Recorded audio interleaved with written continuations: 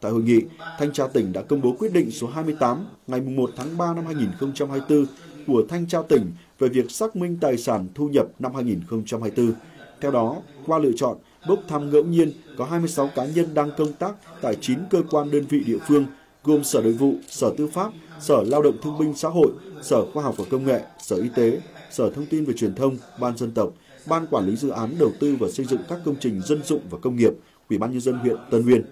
Nội dung xác minh đối với các cá nhân là xác minh tính trung thực đầy đủ rõ ràng của bản kê khai tài sản thu nhập, tính trung thực trong việc giải trình về nguồn gốc của tài sản thu nhập tăng thêm, thời kỳ xác minh từ khi thực hiện kê khai tài sản thu nhập lần đầu đến 31 tháng 12 năm 2023.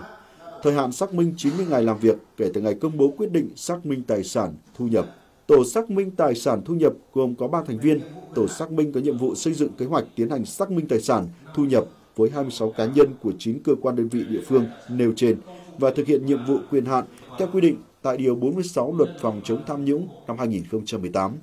Trình tự thủ tục xác minh thực hiện theo quy định của Luật Phòng chống tham nhũng năm 2018 và Nghị định số 130-2020 ngày 30 tháng 10 năm 2020 của Chính phủ.